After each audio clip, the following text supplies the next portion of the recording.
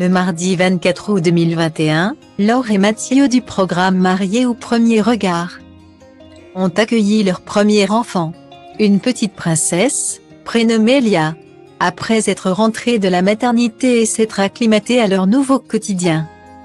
La petite famille a passé un cap obligé après l'arrivée d'un nouveau membre dans le clan.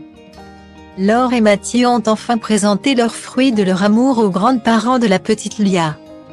La famille est maintenant, presque, au complet, après avoir pris leur marque dans leur nouvelle maison. Les parents de Lia ont programmé plusieurs jours en compagnie des grands-parents de la petite fille. Vendredi 3 septembre 2021, Laure avait dévoilé une vidéo de cette rencontre tant attendue dans une story Instagram. Les grands-parents qui kidnappent Lia. J'ai plus le droit de l'approcher à ski. Avait-elle déclaré. Par la suite, la jeune femme avait pris la parole face caméra.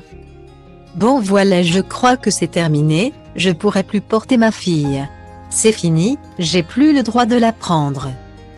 Avait continué l'ancienne candidate de mariée au premier regard. Humour ou jalousie En tout cas. Laure a l'air d'avoir enfin pu retrouver son nouveau-né.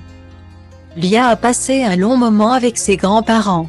Il est temps, à présent, de faire un gros câlin à sa maman. Pour immortaliser les retrouvailles tant attendues, Laure a publié un joli cliché de famille dans une story Instagram ce samedi 4 septembre 2021. Les internautes ont pu découvrir Lia dans les bras de la femme de Mathieu. J'ai réussi à l'avoir quand même un peu avec moi.